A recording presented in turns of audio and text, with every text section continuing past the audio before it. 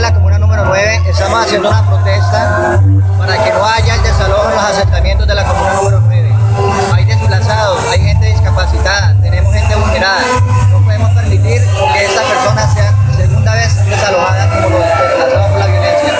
Como puede ver, hay más de 1.500 personas haciendo en la marcha. Una marcha pacífica buscando un derecho de tener un hogar, de tener una casa donde vivir. Son personas que tienen en estos momentos bajo tienen cómo pagar una menos. Estamos saliendo